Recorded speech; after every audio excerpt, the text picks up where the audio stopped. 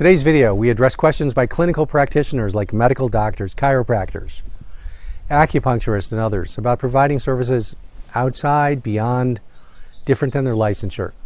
Hi, I'm Michael H. Cohen, founding attorney Cohen Healthcare Law Group. We've helped lots and lots of industry clients, just like you watching this video, to navigate this tricky health and wellness, legal, and regulatory terrain. Okay, so let's get to it. Here's the scenario. Number one, client is a fill in the blank, MD, DO, chiropractor, clinical psychologist, licensed social worker, acupuncturist, or some other licensee. Two, the client, the clinician says, Hey, I'm creating a new venture to support individuals who have condition X. What is X? It might be weight loss, sleep medicine, freedom from addiction, women's health, men's health, behavioral issues, mood, mental health, anything else, anything you can think about, spirituality. Well, let's just say more on the clinical side.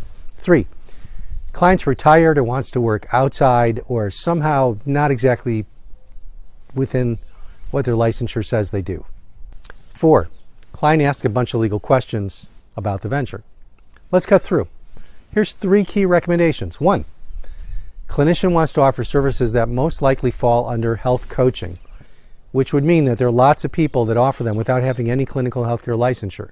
Two, the fact that there's no license for that particular thing doesn't mean that anyone can offer the health and wellness services you have to know his background.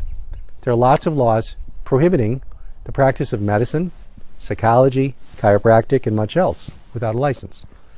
So a person without the proper license can run afoul of these. There are some legal umbrellas, like in California SB 577. So the real question is whether the clinician in such a state is on safer legal ground, offering service X as part of their licensure, or in a non licensed category as a health coach by taking off their professional hat.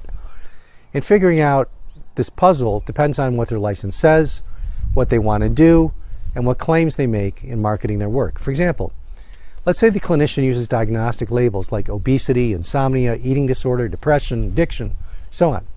They increase the risk.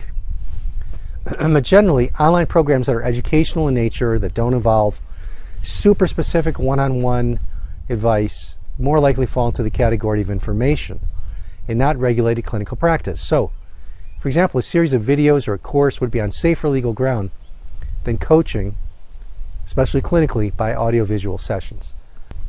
We've guided lots of healthcare ventures through different variations on this model. We're also familiar with FDA issues if, say, the health and wellness venture also brands or even sells dietary supplements, nutraceuticals, cosmetics, devices, or any product along with the health coaching services. So we understand and advise our clients on the regulatory risks as well as what you might normally think about, which is just the liability aspect. Thanks for watching. Please contact us with your questions. We've helped lots of healthcare industry clients build their dream, and some of them have knocked it out of the park. We look forward to working with you on your journey to success.